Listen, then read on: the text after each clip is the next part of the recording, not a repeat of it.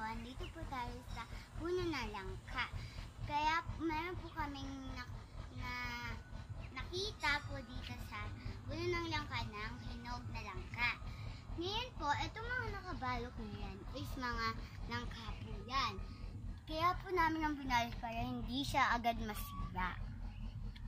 Ito naman po, hinubad na namin kasi malapit na din kasi siyang mahinog. So, na po, hatiin na po natin yung langka. Ayan po, nahiwa na po natin yung langka. Marami po siya kasi po, ipapamigay po natin siya sa kapitbahay.